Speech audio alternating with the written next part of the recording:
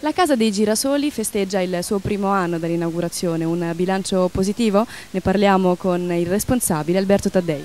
Sì, eh, possiamo dire che il bilancio è positivo.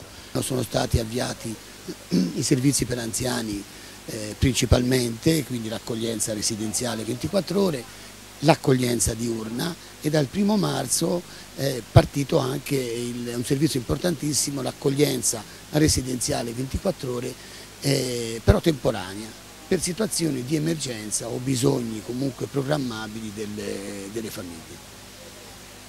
È partito anche il nido, il nido d'infanzia la Zebra Pois, accoglie 10 bambini.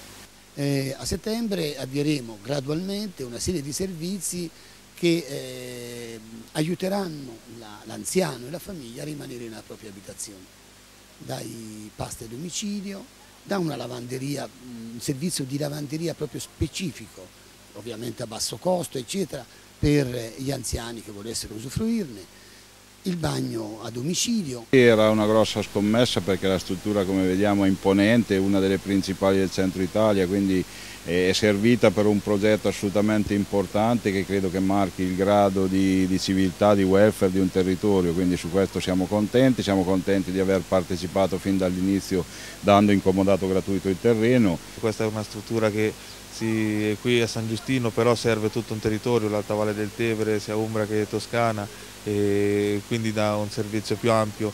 Eh, la domanda di servizi è in crescita, la, una comunità deve saper rispondere e San Giustino penso che abbia eh, da questo punto di vista un vantaggio, ha sempre cercato di rispondere al meglio.